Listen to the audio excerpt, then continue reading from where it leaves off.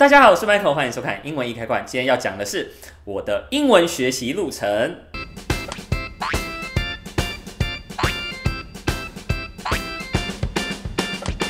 那很多人呢一直在下面说，哎，你到底是什么学英文的？你的学习路程是什么呢？那今天呢，终于等到了，我要把我的学习路程告诉大家。但由于每个人生活的背景等等都不一样，所以除了会介绍我的学习历程之外，我还会帮大家归纳一些学英文的重点。那希望对大家有所帮助的，那也可以让你更清楚学英文会碰到什么历程。那我学习英文的历程总共会分为三个阶段。那第一个阶段我称之为兴趣培养期，第二个阶段是 input 输入期，那第三个阶段则是 output 输出期。那先从第一个阶段兴趣培养期开始讲好了。那大概是我幼稚园到国小五六年级的时候，这个阶段我都觉得算是兴趣培养期。幼稚园的时候，我就开始会去上那种儿童美语班，跟大部分人的一样。除了这个之外，比较特别是我爸妈有帮我请一个家教老师，但是他不会叫我背单字哦。那为什么他没有被我妈开除？竟然连背单词都不教，他到底在干嘛呢？那他通常呢是跟我做一些生活化的事情。那他是一位外师，所以他基本上上课是完全不讲中文的。我印象最深刻的是有一次我们一起做 yogurt，yogurt。那印象很深刻的原因不是因为学到很多英文，而是那个 yogurt 超难吃的。除了做这些生活化的事情外，他给我最大的一个启发是他让我读很多英文的读本。那这个时候我还是小朋友，大部分的读本都是读 Dr. Seuss 的。那我觉得 Dr. Seuss 的读本真的非常非常的棒，因为我觉得他的写的字都非常的有音乐性，然后押韵都很漂亮，然后会让你一看再看也不会觉得无聊。那我甚至每一本我都背了起来，到最后。那到了五年级的时候呢，我短暂的搬去新加坡，大概半年。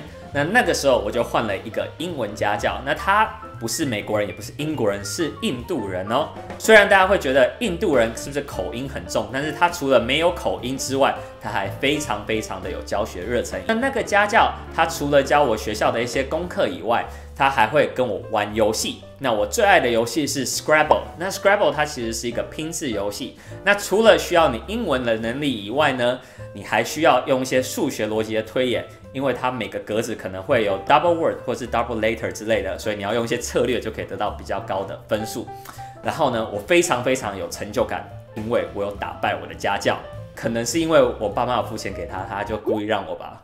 那除了玩游戏之外，这个时候我已经不再读 Doctor Seuss 了，那是小朋友才会读的东西。我已经长大了，已经小学五年级了，好吗？那五年级左右，我最爱的作家叫做 r o d o 那他有写过很多书，最著名的应该就是 Charlie's Chocolate Factory。查理的巧克力梦工厂最近推出的 BFG Big Friendly Giant 也是他所写的，那他的书也都是非常非常的有趣。那第一个阶段学英文的重点就在于要先培养兴趣，不论是看好人的 Doctor s u s 或者是玩 Scrabble 玩游戏，都是为了培养你对于英文的兴趣，你要去爱上它。那除了这个之外，还有一个很重要的是，你要知道英文它其实是非常生活化的事情。例如那个家教陪我一起做超难吃的 yogurt，英文是拿来沟通生活。的，而不是只是寻求一个考试的分数，所以我认为第一阶段最重要的就是这件事。第二个阶段，input 输入期，这个阶段应该是我国中到高中都是属于这个阶段的。那在国中之后呢，我们就全家搬到上海。那我总共读了三年国际学校以及两年当地的 local school。那三年国际学校呢，我觉得收获最多的就是每一天不断的有东西输入到我的里面。因为老师都是说英文的，所以一家一定是一直听英文。然后学校的作业到课外书也是全部都是英文的，所以我这个时候有非常非常疯狂的 input，每天都在一直接受英文，接受英文。但是呢，由于大家都知道我生性非常的害羞。所以在那个时候，我并不常去用英文表达，或者是写英文的东西，只是一直不断的输入而已。那之后两年呢，我就转到了他们的 local school 当地的学校。那他们当地学校其实就是跟我们台湾的当地学校一样，就是不断的考试，然后给你文法。那不断的考试跟给文法，当然是很无聊，超级无聊的。那好家在呢，我没有讨厌英文这个东西，我只有讨厌老师，因为他把我从国小到国中倾家荡产收集的游戏网卡用不见了。但是呢，相对的，我也觉得。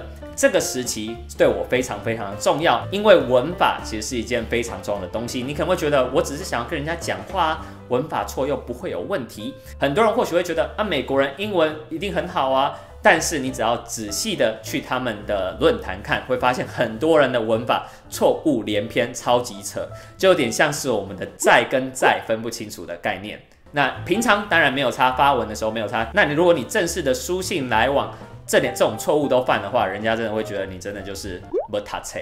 那到了高中，我就回到了台湾。那我在读高中的时候，我的英文应该都是第一名，如果没有记错的话。那这个时候我没什么读学校的东西，但是我爸他常出国，所以他一回来就会在我桌上放一本原文书，没错，他就把 Twilight 丢在我桌上，就说：“哎，看一下。”然后身为这么乖的小孩，我就默默的把它看完了。虽然剧情我真的觉得无聊到不行，Edward 到底哪里帅？不懂。所以到高中以前，我都是疯狂的输入，不论是听老师讲话，还是阅读课外原文书。那疯狂输入这个步骤，我觉得非常非常的重要，因为如果你的 input 不够，你将来的 output，也就是口说跟写作就会出不来。那如果想要了解怎么样看小说，可以点这边的资讯卡。所以这就是我第二阶段疯狂的 input，不断的在输入英文这个东西。那第三个阶段，当然就是 output。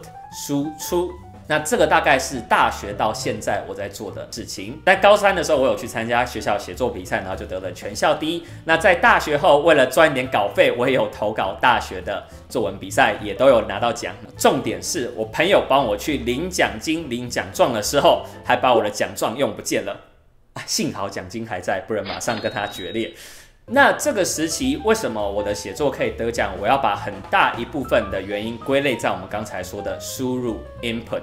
那除了我刚才说的阅读原文书之外，我其实还做过一件很傻、很疯狂的事。我那个时候超级喜欢 rap 饶舌音乐，我就会下载像 Z Z M M M Fifty Cent 的歌，那我会去注意看它的韵脚，比如说 imagination 可以跟什么押韵。这应该也是培养了我日后写文章的音乐性一个很重要的一个步骤，所以你要足够的 input，你最后才能够有好的 output。那到现在为止，我已经在补习班教书了。那用的方法也是跟我刚才说的一样，让学生们看小说、看电影，让他有足够的 input。那如果想要了解怎么样看电影的话，可以点这边的资讯卡，有教你如何看美剧学英文。那 output 怎么办？我不断的读，我要怎么样才能够输出呢？那有两个小诀窍给大家参考一下。第一个是写作嘛，那写作作文比赛不是天天有，但是你的日记可以天天写，所以你可以每天写一个五十到一百字的英文日记，练习一下你写作的 output。那至于口说的 output 要怎么办？你可以在路上自己跟自己讲话，然后警察先生就是这个人就被抓走了，对不对？那所以有一个很棒的时间，就是你在洗澡的时候。可以练习你的口说，because when you are taking a bath, you are by yourself, right?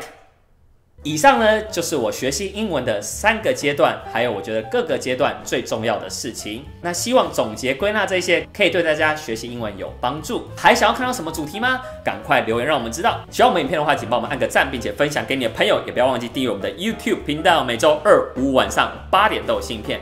英文一开罐，英语真简单。Bye.